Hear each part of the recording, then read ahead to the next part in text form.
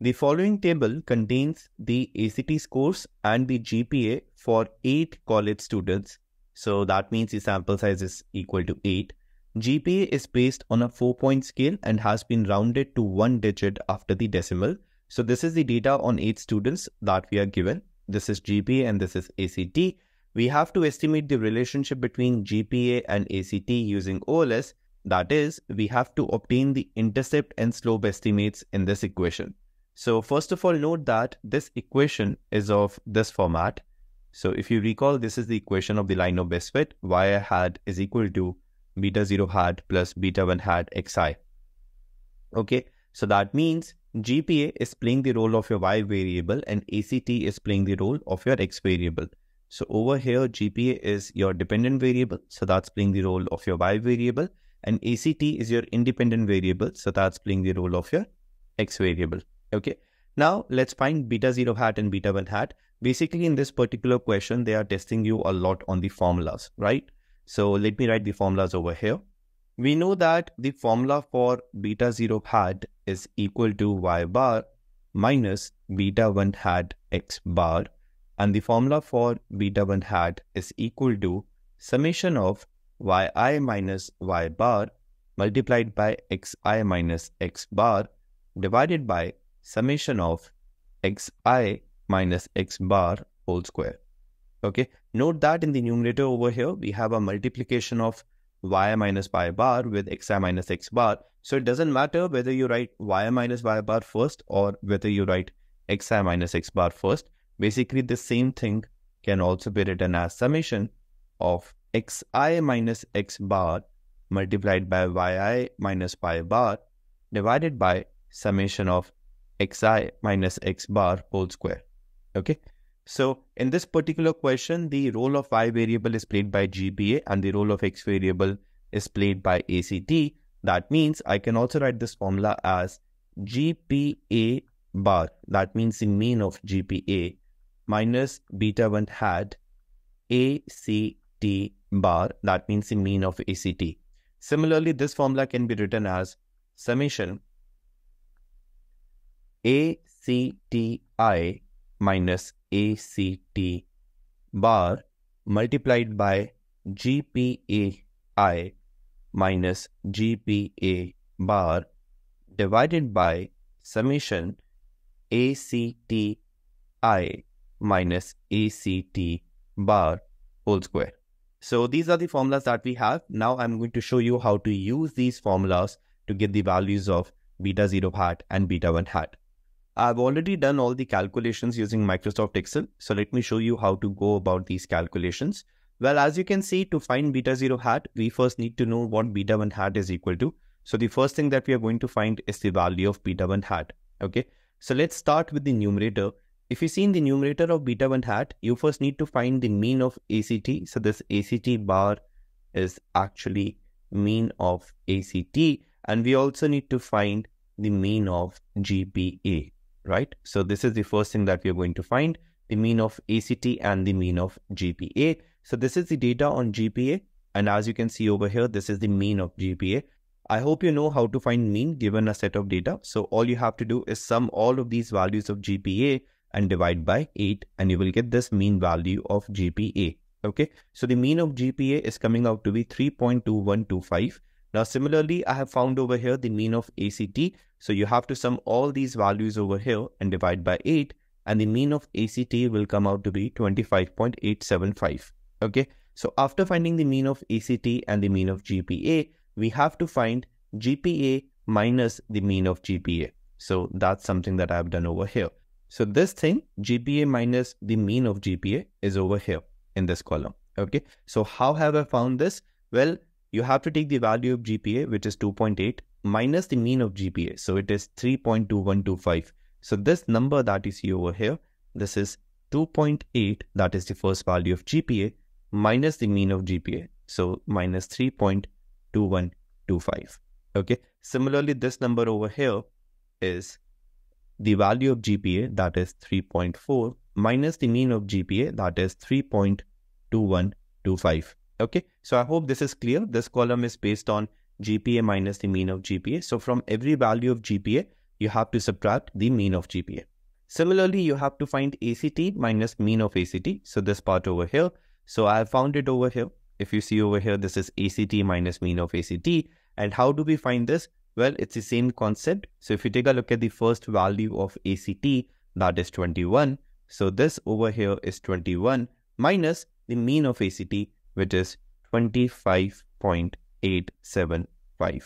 Okay. Similarly, if you talk about the second value over here, this is the second value of ACT, which is 24, minus the mean of ACT, which is 25.875. Okay, so I hope this is clear. So this column has GPA minus mean of GPA, and this column over here has ACT minus the mean of ACT. If you take a look at the numerator, the numerator involves the multiplication of these two columns. Okay, so over here there is a bracket, right? So first you have to multiply these two columns and then there is a summation. So I'm going to multiply this column in which I have GPA minus the mean of GPA. So this column, this is your column number 4. Okay, so 1, 2, 3, 4. I'm going to multiply your column number 4 with your column number 6, right? So I hope this is clear. So now we are going to do a multiplication of column number 4. So this is your column number 4 with column number 6. This is your column number 6. Okay, so this over here, that is the last column that you see over here. This is the multiplication of column number 4 with column number 6. Okay, and this multiplication is needed for the numerator of your beta 1 hat, right? So this number over here, which is 2.011, it is the multiplication of the first number over here, so minus 0.413, and the first number over here, which is minus 4.875. Okay, so when you multiply this number with this number, you're going to get 2.011 right? So this is how we have got this entire column by multiplying the column number 4 by column number 6. And over here, this is the sum, okay? So the sum of this column is 5.8125 and this is what the numerator of beta 1 hat is equal to. So if you take a look at the formula, the numerator of beta 1 hat is that you have to multiply ACT minus the mean of ACT with GPA minus the mean of GPA. And once you are done with that, you have to take the sum. So there is a summation over here, right? So that means the numerator is coming out to be 5.8125. I hope this much is clear. Now we are going to find the denominator. If you see in the denominator, you have ACT minus the mean of ACT whole square and then you have to sum it. Okay. So for this, you have to take a look at the column number 7. So this is the column number 7 over here. In the column number 7, as you can see, I have ACT minus mean of ACT whole squared. So this is just the square of column number 6. Okay, so the column number 7 is nothing, just the square of column number 6. So this 23.766 that you see over here is the square of minus 4.875. Similarly, this 3.516 that you see over here is the square of minus 1.875. This 0.016 that you see over here, it's the square of 0.125 right? And now we have to sum this. So if we sum this, we get 56.875 and this is your denominator in the formula of beta 1 hat. So in the denominator, you need to take the summation of ACT minus the mean of ACT whole square. So that means the denominator is 56.875. Okay. And when you divide this, you're going to get that your slope estimate is equal to 0.10 to 2. So I've already done the calculation over here. So this is your beta 1 hat, right? I hope this much is clear. Now we are going to find beta 0 hat. Finding beta 0 hat is very simple. You just need to utilize three pieces of information. You need to know what the mean of GPA is. Well, we already know it, that the mean of GPA is 3.2125. So we already know what the mean of GPA is. Similarly, we already know what beta 1 hat is. We have just found it. And we also know what is your mean of ACT, that is 25.875. So if you put these three pieces of information in the formula, it will be written as 3.2125, which is the mean of GPA, minus 0.1022, that is your value of beta 1 hat, multiplied by mean of ACT, and that is 25.875. Okay, and when you solve this, you're going to get 0.5681. So this is going to be your beta 0 hat. I hope this much is clear. So all we have done over here is the math to figure out the value of beta 0 hat and beta 1 hat. And these are the final values that we have got. So this is what we have got over here that GPA hat is equal to 0.5681, that's your value of beta 0 hat, plus 0.1022, that's your value of beta 1 hat, ACT. Okay. Now they are asking us to comment on the direction of the relationship. Well, to figure out the direction of the relationship, you have to take a look at the sign of the slope. So the slope is beta 1 hat and we can see that it is a positive number. That means the line is going to be upward sloping. Okay, so you can say that the direction of the relationship is positive it's a positive linear relationship, or you can also say that the direction of the relationship is going to be an upward sloping line because the slope over here is a positive number, right? Now, the next thing is, does the intercept have a useful interpretation here? Let's see. So what is it that the intercept term is going to tell us? Well, the meaning of the intercept term is the expected value of GPA, the expected value of GPA, that is your y variable, when ACT is equal to 0. Okay, so this is the interpretation of the interceptor. So the expected value of GPA when ACT is equal to 0 is 0.5681. Clearly, this interpretation is not making much sense over here. Also, if you take a look at the data, you will see that the value of ACT is ranging from 21 to 30. So that means your entire analysis is based on this range of the values of ACT. And when you're interpreting the intercept, you're talking about ACT is equal to zero. So that is actually going to be a case of extrapolation. For the students who don't understand what extrapolation means, let me give you a very quick example over here. So basically, think of it in this way that let's say this is your x variable and this is your y variable. And when you collect the data, you are collecting the data in this range. So let's say hypothetically, this is how your scatter plot looks like. And now when you're going to fit the line, let's say the line looks like this. Now you will see over here that you're only analyzing people who have X values in this range, right? From here to here. Okay, so you're analyzing people with X values in this range and your intercept is going to tell you something about the value of Y when your X is equal to zero. Now this is what you call extrapolation because if you're analyzing people in this range over here, okay let's say this is 1000 and this is let's say 5000 so if you're analyzing people who have their x values between 1000 and 5000 then it will not be a very good idea to say something about the y value when your x is 0 on the basis of this line okay because you're not analyzing people in this range right you're not analyzing people close to 0 so you're not analyzing people who have x values close to 0 you're analyzing people in this range Okay, so this is what you call extrapolation. So when you analyze people who have X values in the range of 1000 to 5000, and if you try to say something about a person who has an X value of zero, that means you are extrapolating it, right? You're, you're extending your line from here to here. And you know, this also goes in the other direction. So for example, over here, if there is a person, so let me extend this. If there is a person who has an X value of 10,000, so let's say there is a person over here and he has an X value of 10,000, well, on the basis of this line, you should not say anything about this person because you're not analyzing people in this range. Okay. You're only analyzing people who have their X values in the range of 1000 to 5000. So on the basis of this line, if you try to say something about a person who has X value of zero or a person who has X value of 10,000, that will be called extrapolation because you are saying something about the people who have X values outside the range that you are analyzing. Okay. So I hope this is clear. And that's exactly what's happening in our case as well. So if you see over here, we are only analyzing students who have ACT scores ranging between 21 and 30.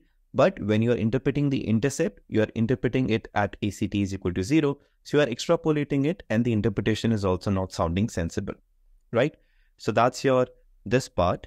And now the next part is how much higher is the GPA predicted to be if the ACT score is increased by 5 points? Well, this is directly related to the interpretation of this model. So to understand this, we have to first understand what is the meaning of this beta 1 hat over here. Okay, so what's the interpretation of beta 1 hat? Well, the interpretation of beta 1 hat is if ACT score is increased by one point, then the GPA is expected to increase. The GPA is expected to increase by 0.1022 points. Okay, so that's what your beta 1 hat is telling us. And because it's a linear relationship, if increasing the ACT by 1 point is increasing the GPA by 0.1022 points, then this implies that increasing the ACT by 5 points will increase the GPA by 0.1022 multiplied by 5 points. So that means over here, I can just make a small change. So instead of writing 1 point over here, I can write 5 points. So if ACT score is increased by 5 points, then the GP is expected to increase by 0.1022 multiplied by 5 points and this is equal to 0.511. Okay, so if the ACT score is increased by 1 point, then the GPA is expected to increase by 0.1022 and if the ACT score is increased by 5 points, then the GPA is expected to increase by 5 times your slope value, which is going to be 5 times 0.1022, and the answer is going to be 0.511 points. Okay, so I hope this is clear, and that's all about the first part of this question. Now let's move to the second part of this question. In the second part of this question, we have to compute the fitted values, that is GPA hat. So we have to find the values of GPA hat and residuals for each observation and then we have to verify that the residuals approximately sum to zero. Okay. So I've already shown the calculations over here. Let me explain you how have I got these numbers. So this is the GPA data that we are given. So this is your Y variable. This is your X variable that is ACT. And we know that GPA hat is equal to beta 0 hat plus beta 1 hat ACT and we have already found the values of beta 0 hat and beta 1 hat. So we know that GPA hat is equal to 0.5681 plus 0.1022 ACT. Okay, so I've made a column over here. This is for your fitted values of GPA. So this is GPA hat. Now, how to find the fitted values of GPA? Well, for the first student, so if you take a look over here, for the student number one, the ACT score is 21. Okay, so this fitted value of GPA that is 2.71 is something that I have got by putting 21 over here. So I'll explain this in detail. So for the first student, so let me write student number one over here. So for the student number one, the ACT score is equal to 21 so to find the fitted value of GPA for the student number one, all you have to do is that GPA hat is equal to 0.5681 plus 0.1022. So instead of ACT, you have to put the value of ACT for student number one, which is equal to 21. And when you solve this, you're going to get 2.71. And you can do the same thing for the other students as well. So if you want to find the fitted value of GPA for the second student, all you have to do is put 24 over here, right? So instead of ACT over here, you have to put 24. That is the ACT value of student number two. And then you will be able to get this 3.02. Okay. So this is how I'm finding GPA hat over here. And once you have got GPA hat, then we have to find the residuals where the residuals are denoted by UI hat. So this is the notation that we have for the residuals. And if you recall, the residuals are written as yi minus yi hat. Okay, so basically your residuals are the actual y values minus the fitted y values.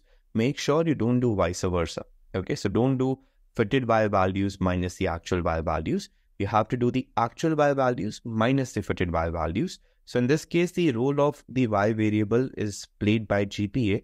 So that means the residuals can be written as GPA i minus GPA i hat. Okay. So what is the actual values of GPA? Well, the actual values of GPA are the values that you collected. So, you know, so that's a part of your data.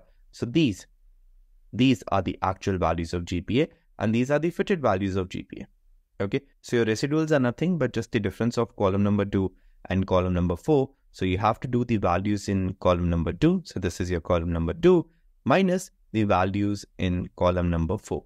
So the first value that you see in the residuals over here is 0.09. So I've got this 0.09 by doing 2.8, that is the GPA value of the first student, minus 2.71, that's the fitted value of GPA for the first student. Similarly, the second value of the residual is 3.4, that's the GPA value of the second student, minus 3.02, that is the fitted value of GPA of the second student, right? So this is how I've got these residuals. And then they're asking us to check the sum of the residuals, which we can see from here is indeed equal to zero. So this sum is the sum of these residuals and it is equal to zero. Okay, so that was your second part of this question. Now let's move to the third part of this question. So in the third part, they are asking us what is the predicted value of GPA when ACT is equal to 20? Well, first of all, note that they can use the word predicted or they could have also written the word fitted over here. Okay, so predicted value, fitted value mean one and the same thing right? So we have to find the fitted value of GPA when ACT is equal to 20. Well, we already know how to find GPA hat. So we know that GPA hat is equal to 0.5681, that's your value of beta 0 hat, plus 0.1022, that's your value of beta 1 hat, ACT. And if ACT is equal to 20, all you have to do is put 20 over here. So that means when ACT is equal to 20, your predicted value of GPA or in other words, your fitted value of GPA is going to be 0.5681 plus 0.1022 times 20. And when you solve this, you will get that this is equal to 2.612. Okay. So that's your predicted value of GPA when ACT is equal to 20. Now let's move to the next part. So in the fourth part of this question, they are asking us how much of the variation in GPA for these eight students is explained by ACT. Basically, they are asking us to calculate R square because the statement that they have given us over here is nothing but the definition of R square. Okay, so R square is going to tell you that how much variation in GPA is explained by ACT, right? So as you can see, I've already done the calculation of R square over here. So let me explain you what is it that I've done over here. So the formula that we have for R square is 1 minus SSR divided by SST, where your SSR is sum of squared residuals and SST is total sum of squares. Okay. Now let's take a look at their mathematical expressions. So the mathematical expression that we have for SSR is summation of UI hat squared and the mathematical expression that we have for SST is summation of yi minus y bar whole square. In our case, the role of y is played by GPA, so we can write this as summation of GPA i minus GPA bar whole squared. Okay, now let me first explain you how to get SSR. Well, your SSR is sum of squared residuals. So we already know what the residuals are. We had found these in one of the previous parts. So these are the values that we had got on the residuals. And now all you have to do is square these values. So if you see in this column, I've taken the square of the residuals. So this number over here is nothing but just the square of this number. This number over here is the square of this number and so on. So I've taken the square of the residuals and then you have to take the sum of the square of the residuals. So the sum of this particular column over here is 0.4347 and this is what your SSR is equal to. Okay, so your SSR is the sum of squared residuals. So first you have to find your residuals, which we already had. I squared them and then I summed it. Okay, so SSR is 0.4347. Now let's see how to find SST. Okay, so to find SST, we have to find GPA minus GPA bar whole square and then we have to sum it. Well, if you recall this from the very first part of this question, I had found GPA minus the mean of GPA. Okay. In fact, if you want, I can also quickly show it to you. So this is the table that I showed you when we were doing the first part of this question. And you see over here, there is this column, GPA minus mean of GPA. Okay. So this is what we had found in the first part of this question. And now what is it that I have done over here? I've just taken the square of it. Okay, so if you just square this column, that is GPA minus the mean of GPA whole square. So this number over here is the square of this number. This number over here is the square of this number and so on. So I've taken the square of it and then you have to sum it. Okay, because your SST is defined as sum of GPAI minus GPA bar whole square. Okay, so first you square the column and then you sum it. And this is what the sum is, right? So this is the sum of this column. So I hope you got this. This is your column, GPA minus mean of GPA whole square. This is your sum, 1.0288. I've done some rounding off over here. And then all you have to do is put these numbers in the formula that we have. So that means your R square is going to be 1 minus, instead of SSR, we are going to put 0.4347 and instead of SST, we are going to put 1.0288 and once you do this, you will see that your R square is coming out to be 0.5774, right? And that's it for this part.